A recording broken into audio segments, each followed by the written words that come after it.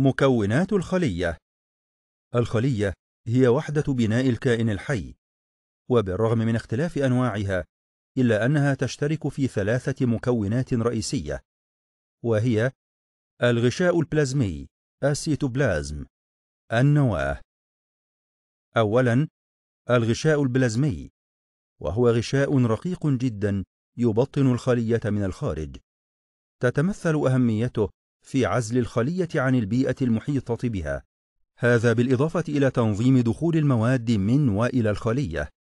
أما عن تركيبه فيتركب الغشاء البلازمي من طبقة ثنائية الدهن phospholipid bilayer الكوليسترول البروتينات السكريات قليلة التسكر oligosaccharides ثانيا السيتوبلازم وهو سائل شبه هلامي. يملأ الحيز الموجود في الخلية بين النواة والغشاء البلازمي ويتكون من الماء بعض المواد العضوية وغير العضوية بالإضافة إلى هيكل الخلية وهي عبارة عن شبكات متداخلة مع بعضها من الخيوط والأنيببات الدقيقة.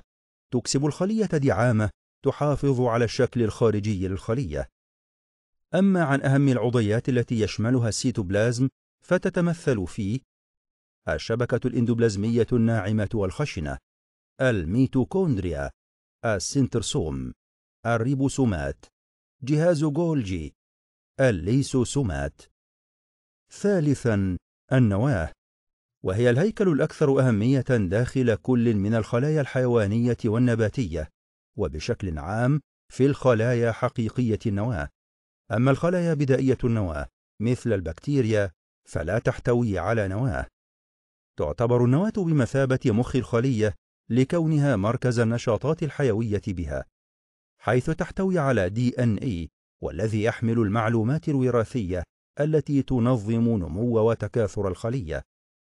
أما عن مكوناتها فتتمثل في الغلاف النووي السائل النووي المادة الوراثية النوية وهي أكبر تراكيب النواة.